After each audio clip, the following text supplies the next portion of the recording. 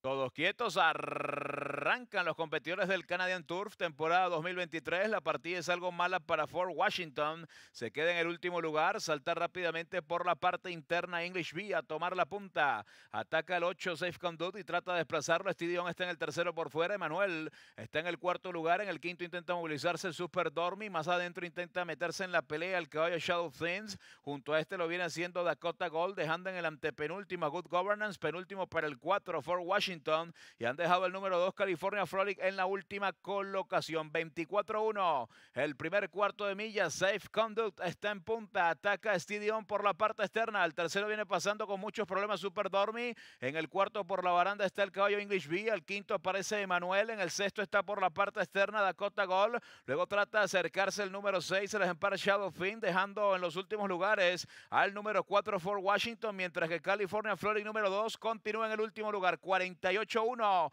El parcial para la media milla. Se defiende Safe Conduct en el primer lugar. Super Dormi está en el segundo. Entre ellos aparece Stidion.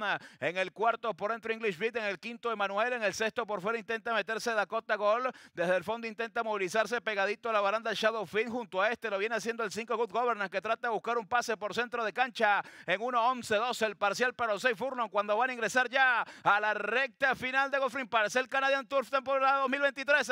Domina Safe Conduct ataca Stidion. Emanuel trata de buscar pase por el centro de la cancha. Pasó el 10 a la punta. Emanuel se lanza en firme por la parte externa contra el puntero. Emanuel a medio cuerpo. Emanuel con castellano inmenso. Lo pasó de viaje. Ganó Emanuel. Segundo Stidion. Tercero for Washington. Tremenda victoria para Javier Castellano.